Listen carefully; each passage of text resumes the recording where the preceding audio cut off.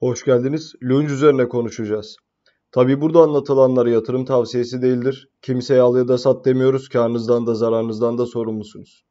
Abone olup videoyu da beğenmenizi rica ediyorum. Şimdiden çok teşekkür ederim. E, Lunge tarafına baktığımızda arkadaşlar özellikle 4 saatliğe doğru bakınız ki ne var? E, deneme gerçekleştiriyor ve hatta yapışma diyebileceğimiz hareketleri yapıyor. Tabi 4 saatliğin MA200'ü de alttan destek verdiği için hızlı bir şekilde düşüşü de kolay olmuyor yani bu bağlamda. Fakat yine önceki videolarda belirttiğimiz gibi hareketli ortalamalar da birbirine çok yakın ve 29 pozisyonlarında 28-8-9 civarlarında oldukça yoğun. Nitekim 3-0-3'ler de üzerinde direnç olarak duruyor. Dolayısıyla e, Lunge'un bu noktada kırma ihtimali düşük. Kaldı ki zaten talep de yok gayet normal. Ne yapıyor?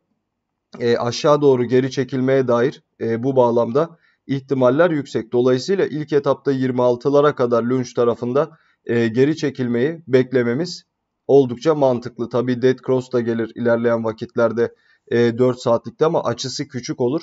E, dolayısıyla özellikle geçtiğimiz günlerde belirttiğimiz yani bir müddet sonra hafif akümülatif e, küçük mumlar halinde düşüş sürecine artık girmiş buluyoruz e, bulunuyoruz.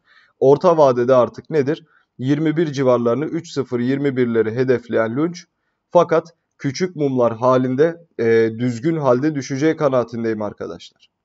İzlediğiniz için çok teşekkür ediyorum. Abone olup videoyu da beğenebilirsiniz. Bol kazançlar dilerim herkese. Hoşçakalın.